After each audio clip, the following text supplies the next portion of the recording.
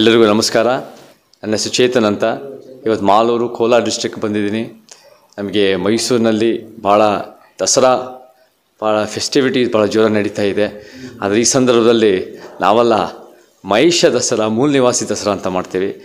ಮಹೇಶ ಅನ್ನೋದು ಎಷ್ಟು ಮುಖ್ಯ ಅನ್ನೋದು ಕರ್ನಾಟಕ ಪರಿಚಯ ಮಾಡಿಸ್ತಾ ಇದ್ವಿ. ಮಹೇಶ ಮಂಡಲ ಅನ್ನೋದು ನಮ್ಮ ಕರ್ನಾಟಕದ ಮೂಲ ಮೂಲಿನಲ್ಲೂ ಸಮಾನತೆ, ನ್ಯಾಯ, ಪ್ರಜಾಪ್ರಭುತ್ವದನ್ನೇ ಎರಡೂವರೆ ಸಾವಿರ ವರ್ಷದ ಹಿಂದೆ ಒಂದರ ಬೌದ್ಧ ಧರ್ಮದಿಂದ ಸ್ಫೂರ್ತಿ ಪಡೆದು ಮಹಾದೇವ ಅಂತ ಒಂದು ಬಿಕ್ಕು ಬಂದು ಮಹಿಷ ಮಂಡಲ ಮಾಡಿದ್ದಾರೆ. ಸೊ ಆ ನಿಟ್ಟಿನಲ್ಲಿ ನಾವೆಲ್ಲ ಮಹಿಷ ದಸರಾ ಆಚರಿಸ್ತೀವಿ. ನಿಮ್ಮೆಲ್ಲರಿಗೂ ಮಹಿಷ ದಸರಾದ ಹಬ್ಬದ ಶುಭಾಶಯಗಳು. ಪಿ ತ್ರೀ ನ್ಯೂಸು ಈ ಥರ ಪರ್ಯಾಯ ಮಾಧ್ಯಮ ನನಗೆ ಭಾಳ ಅಗತ್ಯ ಇದೆ. ಪರ್ಯಾಯ ಮಾಧ್ಯಮಗಳಿಂದ ನಮಗೆ ಎಷ್ಟು ಸತ್ಯಗಳು ಗೊತ್ತಾಗುತ್ತೆ. ಒಂದು ವಾರದ ಹಿಂದೆ ಎರಡು ವಾರದ ಹಿಂದೆ ಭಾಳ ಒಂದು ದುರ್ಘಟನೆ ನಡೀತು ಇದೇ ಭಾಗದಲ್ಲಿ. ಅವಾಗ ಗೊತ್ತಾಗಿದ್ದೆ, ಆ ಅಸ್ಪೃಶ್ಯತೆ ಅನ್ನೋದು ಜೀವಂತವಾಗಿದೆ ಅಂತ ಗೊತ್ತಾಗಿದ್ದೆ ಪರ್ಯಾಯ ಮಾಧ್ಯಮಗಳಿಂದ.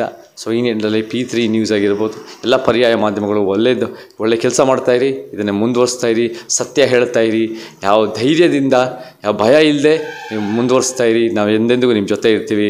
ಜೈ ಕರ್ನಾಟಕ.